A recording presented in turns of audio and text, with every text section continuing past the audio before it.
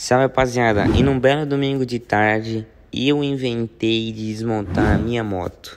Pra quem não sabe, essa é a minha moto, faz dois anos que eu moro aqui no Brasil, tenho 16 anos e comprei essa moto. Aí eu comecei a desmontar porque eu vi na internet o pessoal desmontando da minha idade. Aí eu falei, nossa, fica bonita, né? Vou tentar fazer na minha também para fazer um rios, que o pessoal gosta e eu também gosto. Então vou desmontar e vou fazer um rios. Desmontei, tirei a traseira, logo em seguida tirei a lanterna também. E ela ficou só o buraco. Eu falei, nossa, agora tá só o buraco. Tá o famoso zacato que eles falam aqui no Brasil. Ou o famoso bode, como eles falam. Aí eu montei, ó. Logo em seguida, eu tirei ela para fora para tirar umas fotos e para terminar o rios. Aí coloquei ela no pezinho e comecei a admirar, rapaziada, porque logo em seguida eu iria montar ela, então eu já ia perder, entendeu? De admirar ela. Meu pai tava olhando, ele falou: "Ah, não gosto muito não, prefiro andar original, mas tá da hora, mas eu não gosto". Aí eu falei: "Ah, mas logo em seguida eu vou montar mesmo, então Tipo, só pra olhar mesmo. Não consegui me segurar e tive que dar uma voltinha. Fui dar uma voltinha e Tomei um enquadro da Rocan, rapaziada. Na porta da minha casa eu tomei um enquadro. Aí, Yudi, o que, que você fala agora aí, ó? Você não quer andar com a moto depenada? Estava falando pra mim aí que isso é feio, isso não é coisa que se faça. E ele estava certo, rapaziada. Vocês veem na internet uma coisa, mas na verdade é outra. Aí eu tomei multa, ela foi pro pátio e meu pai perdeu a carta, infelizmente, rapaziada. Agora tô eu aqui, ó, com a carretinha. Tô esperando o meu irmão chegar do trabalho pra gente pra poder ir a caminho lá do pátio. A moto foi presa, a gente não conseguiu registrar a hora do nervosismo lá. A gente acabou não registrando o guincho na frente de casa, pegando a moto. Mas é isso, rapaziada. Eu cheguei a alertar ele, ele mandou mensagem, eu tava dormindo, ele mandou uma mensagem pra mim falando que tinha desmontado a moto. Falei, meu, não faz isso. Eu uso a moto, não faz isso. Eu sei que a moto é sua, eu sei que você acha legal, mas não faz isso, porque isso daí é coisa que marginal faz. Esses moleques que desmontam a moto são moto roubada, que os caras dependem tudo para poder fazer fita. E você não. Sua moto não é isso, sua moto é toda certinha, legalizada e tudo, né? Expliquei pra ele. Mas aí, meu, a teimosia é grande, ele pegou e quis dar uma volta na esquina. E aí ele foi e aconteceu. Ele tem mel pra polícia, ele saiu de casa. Ele saiu de casa. Fez o balão assim que não dá, não dá 200 metros. A, as Rocan veio de direção em direção a ele. Ele só foi o tempo dele fazer o balão, as dire... a Rocan deu de frente com ele. Então é isso, é, não pode fazer, entendeu? Aí eu fui prejudicado, eu perdi minha habilitação, tomei um monte de multa caríssima. E agora eu tô indo lá para pagar o pátio, pagar as diárias. E vamos lá, tomara que dê tudo certo. Tem que fazer um pedido de protocolo para liberar o ofício. O ofício demora três dias para ficar pronto, meu. Você sabe como é que é a burocracia dessas coisas, né?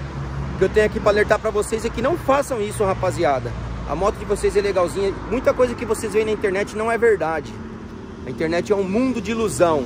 Então tome muito cuidado com as coisas que vocês vê. Que pode acontecer de prejudicar pai e mãe de vocês, tá bom, menor? Agora vou lá recuperar e isso deve servir de lição. Chegando lá eu mostro um pouco pra vocês aí, colocando a moto aqui na, na carretinha, tá bom? Tamo junto.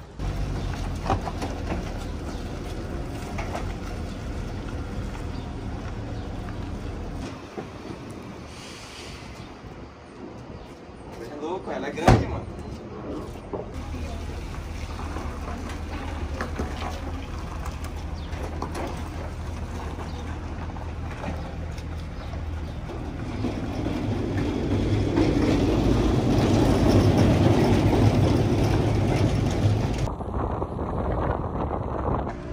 Aí, a gente tirou a moto, tive que entrar com a carretinha lá dentro do pátio, poder colocar lá em cima lá e a gente saiu, deu tudo certo. Então o pátio ficou quatro diárias e mais o valor do guincho. 496 reais. Caríssimo, né? Caríssimo. Mas esse é o preço que paga, né? Por cometer aí infração de trânsito, tá bom? Então agora a gente tá indo pra casa. A gente vai montar a moto depois e infelizmente aí a gente vai ter que é, não, não andar mais com o Yudi de menor. Quando ele tiver a habilitação dele, aí ele vai arcar com essa responsabilidade todas dele, a moto é dele, porém ele não tem habilitação, então acaba me prejudicando como foi que aconteceu agora. Então infelizmente daqui para frente a gente não vai ter mais conteúdo de vídeo de moto, tá bom? Então é isso aí, o que a gente for fazendo aqui pra frente, qualquer coisa, se eu tô indo pra casa, o Yudi não tá, mas qualquer coisa o Yudi dá um salve pra vocês aí sobre o que aconteceu. Tamo junto. É nóis. E aí, Yudi, beleza? Não deu pra você ir lá, que você tava na, É. na escola, né? negócio da escola lá. Deu pra mim. ir, Aí foi lá buscar. já. Montou ela já?